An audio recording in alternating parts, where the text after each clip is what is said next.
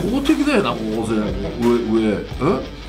このリーグ戦なんかすごい面白いよなこれな。ちょっと先走った試合になるような気がしますよね。優勝予想は。です。いや！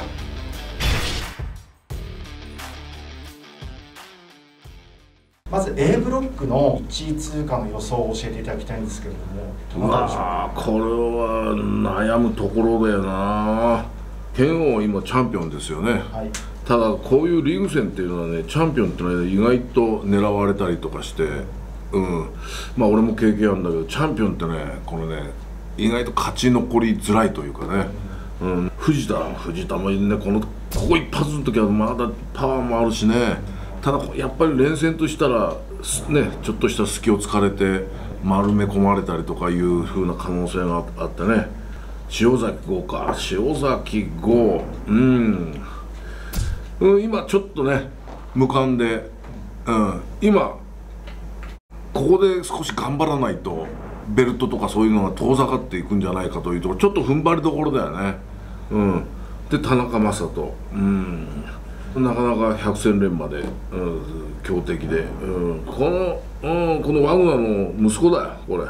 これは親父はもう俺すげえ仲良くてそれこそ親父メキシコで「ドラゴンスクリュー」とか4の字を俺のパクって俺がメキシコ行ったら「わあこのこいつの親父の真似してる」って言われたことあるんだ俺。俺の盗まれたのにさ。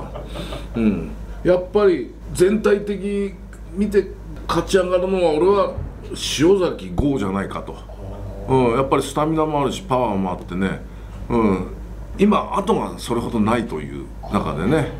まあ彼とは去年俺試合してて彼の強さも知ってるしその試合であの、ね、ベストバウトも取ってるし塩崎豪が来るんじゃないかとまあ俺は予想します。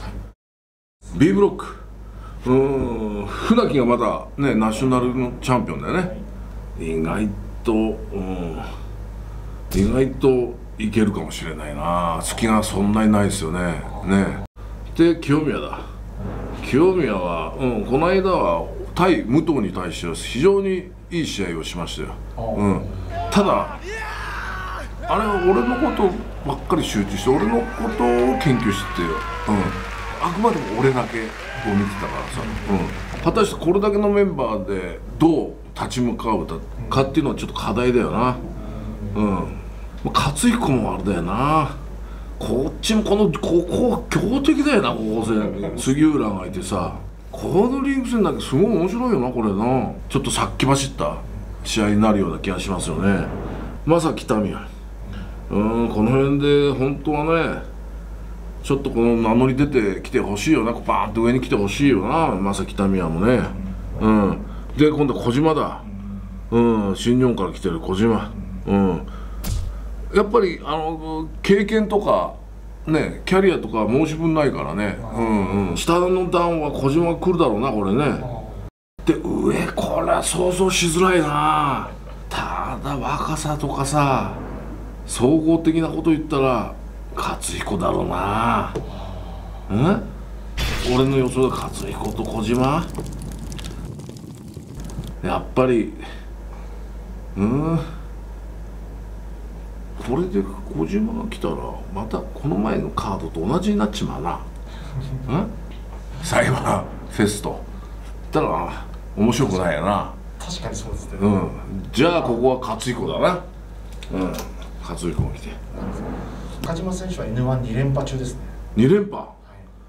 えこいつ3連覇あるんじゃないの？うん、うん、3連覇したらリング戦の顔になれるからねもう。うん。うん。多分3連覇した時にはこれから先ねこの N1 っていうのが続く限りずっとこの3連覇っていうのは重しに乗っかってくるからさ。うんまあまあ3連覇したら面白いよな。はい。N1 ビクトリー。えー、武藤敬司優勝優勝予想は勝彦です。いや！N1 ビクトリー2022準対戦カード発表 !8 月11日横浜武道館。A ブロック4試合と B ブロック4試合。船木サッチャーのサブミッション対決。因縁の中島 VS 北宮。8月13日エディオンアリーナ大阪第2競技場。A ブロック4試合と B ブロック3試合。A 勝負間違いなし田中 VS 鈴木。船木中島の至強の打撃戦。8月14日広島サンプラザホール。A ブロック3試合と B ブロック4試合。注目のガンオー VS 田中将人。新外国人ジャック・モリスが小島に立ち向かう。8月17日仙台サンプラザホール。A ブロック3試合と B ブロック3試合。野獣と人間風車がここで開講。北宮は試練の一戦。8月19日後楽園ホール。A ブロック3試合と B ブロック3試合。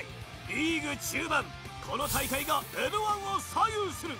清宮船木越えなるか。8月20日後楽園ホール。A ブロック3試合と B ブロック3試合。必見。船木と小島のシングルマッチが聖地後楽園ホールで実現。8月27日名古屋国際会議場イベントホール。A ブロック4試合と B ブロック4試合。初出場アンソニーが剣王と激突。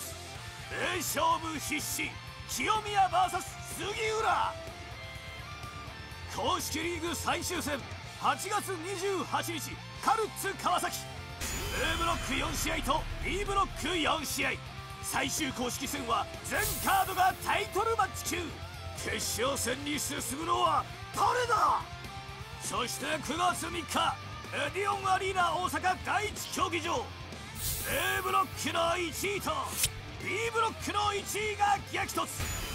この勝者が N1 ビクトリー2022の覇者となる。